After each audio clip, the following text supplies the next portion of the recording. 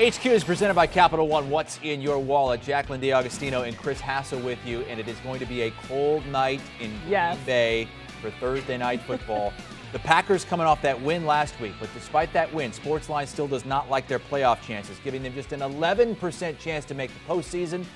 A, a lot is based on their schedule and their tough schedule beginning tonight with the Titans. Yep, so they also have the Eagles, Dolphins, and Vikings to get to after the Titans. Not the e- easiest schedule. You mentioned the win, the OT win against the Cowboys. If you are a Cowboys fan, shout out Brendan Baylor. That was probably really hard to watch. Um, but yeah, the Packers coming off that win. And the Titans, uh, when they're, with their Week 10 win over the Broncos, the fifth straight win with Tannehill starting. So they're going to be looking to continue that. Yeah. Green Bay and Tennessee taking a look at uh, some of the betting trends for tonight's matchup. What are we seeing there, Jacqueline? Yeah, so we have the Packers favored by minus three, and according to our partners over at Caesars, uh, 72% of the money, Chris, being wagered on this game is on Green Bay. All right. Uh, kickoff there is for 8:15 p.m. Eastern.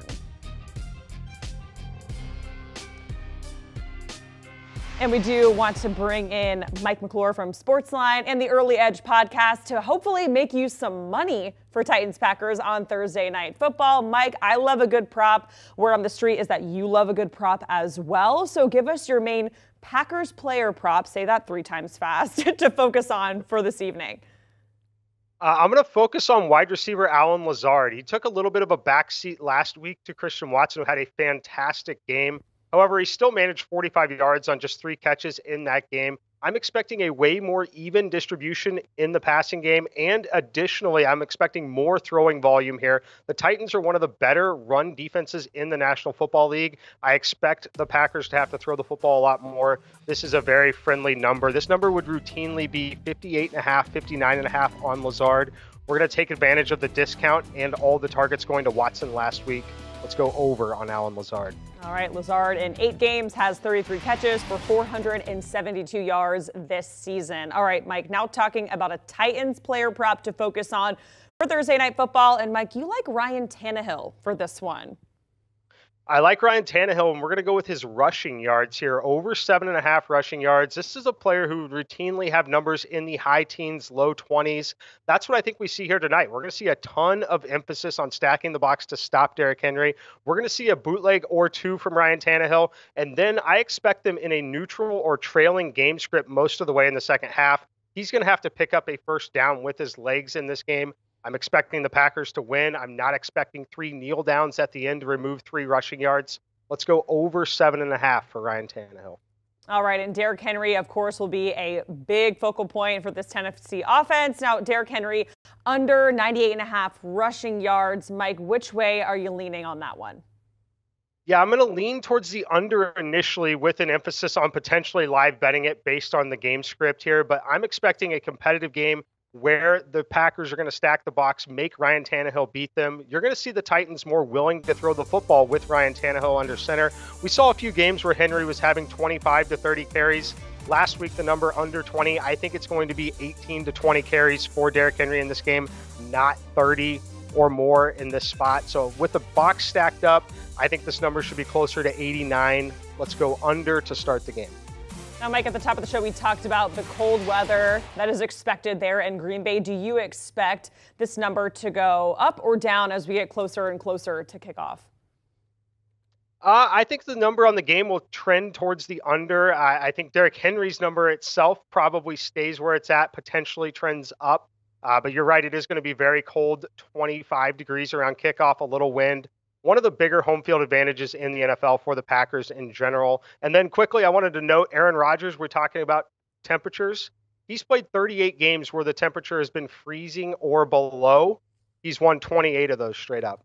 Yeah, and it's forecasted specifically 25 degrees, 15 mile per hour winds at kickoff there. Um, we do have the Packers favorite at minus three.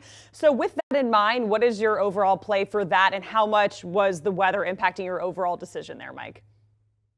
Yeah, so my favorite play on the game is Packers minus three. I played this one on Tuesday. My simulations make it four and a half.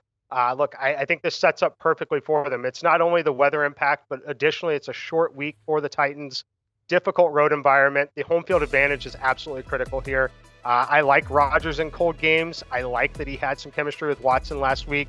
I like the absences on the defensive side of the ball for the Titans as well. Bud Dupree, Amani Hooker, potentially Jeffery Simmons. We'll see. I think he's ultimately going to give it a go. But love the Packers here, minus three. I would play it all the way to minus four. All right, and Mike, I know you're talking about live betting and Derrick Henry a little bit earlier, but give us some more tips for live betting for the game tonight.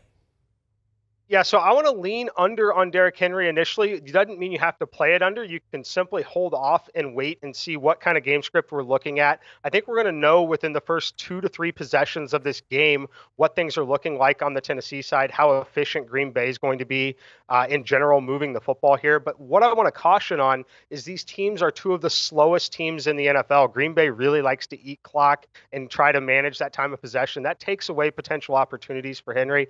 This number, I think, is a touch too high. If he doesn't have a big run in the first two series of this game, we're going to see this number down in the low 80s, high 70s. That's the price point where I'd look to become interested again, that I think is still achievable in most of the game scripts that I would project.